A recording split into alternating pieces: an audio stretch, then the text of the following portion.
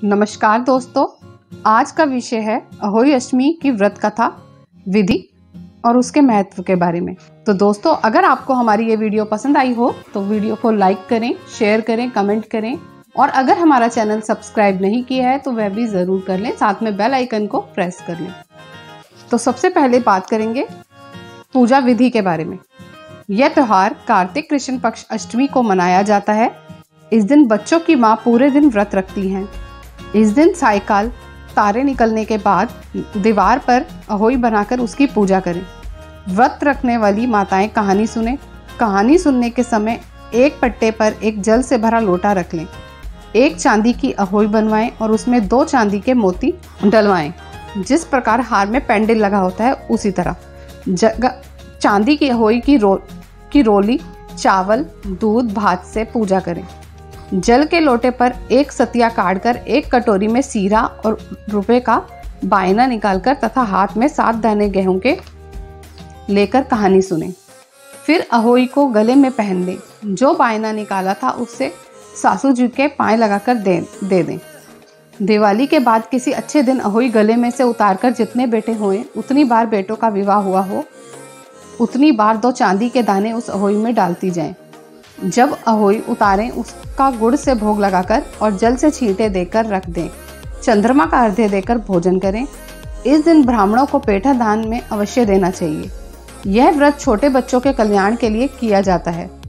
अहोई देवी के चित्र के साथ साथ सेही और सेही के बच्चे के चित्र भी बनाएँ या पूजा प्रकाशन द्वारा छपे अहोई माता का पोस्टर खरीदें और पूजा करें तथा कहानी सुने। तो कथा शुरू करते हैं। बहुत पुराने समय की बात है। भारतवर्ष के एक दतिया नामक नगर में चंद्रभान नाम का एक साहूकार रहता था। उसकी पत्नी का नाम चंद्रिका था। वह बहुत ही गुणवान, रूपवती, चरित्रवान और पवित्र थी। उसके कई पुत्र और पुत्रियाँ हुई, परंतु वह सब की सब छोटी उम्र में ही यमलोक को चले गए। संतान के इस प्रकार मर जाने से वे दोनों बहुत दुखी रहते थे। वह पति पत्नी मन ही मन सोचा करते थे कि हमारे मरने के बाद इस वैभव का कौन अधिकारी होगा। एक दिन उन दोनों ने निश्चय किया कि सब धन दौलत को त्याग कर जंगल में निवास किया जाए। ऐसा निश्चय कर दूसरे दिन ही दिन दोनों सब घर आदि भगवान भरोसे छोड़कर जंगल को चल दिए। चलते चलते जब दोनों थक जाते थे, तब बैठ जाते थे। फिर चलने लगते। इस प्रकार वे दोनों चलकर भद्रिका आश्रम के समीप एक शीतल कुंड के पास पहुँचे। वहाँ पहुंचकर दोनों के ने मरने का निश्चय करके अन्न जल त्याग कर बैठ गए। इस प्रकार बैठे बैठे उन्हें सात दिन हो गए। सातवें दिन आकाशवाणी हुई कि तुम लोग अपने प्राण मत त्यागो। यह दुख तुम्हें पूर्व जन्म के पापों के कारण मिला है।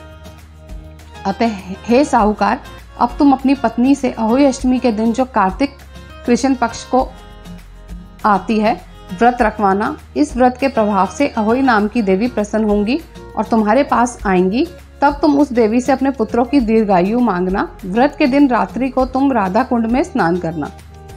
कार्तिक पक्ष की अष्टमी आने पर चंद्रिका ने बड़ी श्रद्धा से अहोई देवी का व्रत धारण किया और रात्रि को साहूकार राधा कुंड में स्नान करने गया।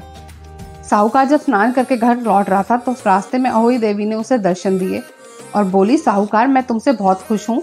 तुम मुझसे कुछ भी वर मांग लो। साहूकार अहोई देवी के दर्शन कर बहुत प्रसन्न हुआ और कहा, हे माँ मेरे बच्चे कम उम्र में ही देवलोक को चले जाते हैं, अतः मैं दीर्घायु होने का आशीर्वाद दीजिए। अहोई देवी ने कहा, ऐसा ही होगा। इतना ही कहकर अहोई देवी अंतर ध्यान हो गई। कुछ दिन बाद साहूकार के एक पुत्र पैदा हुआ, जो बड़ा होने पर विद्वान, बलशाली, प्रतापी तथा आयुष्मान हुआ। यदि किसी स्त्री के बेटा हुआ हो या बेटे का विवाह हुआ हो तो अहोई व्रत की समाप्ति का उत्सव करें। एक थाली में सात जगह चार पूड़ी और थोड़ा थोड़ा सीरा रखें। इसके अलावा एक साड़ी और एक ब्लाउज एक रुपया के साथ थाली में रखकर और थाली के चारों ओर हाथ फेर कर अपने सासू जी के पाँव लगाकर उन्हें दे दें।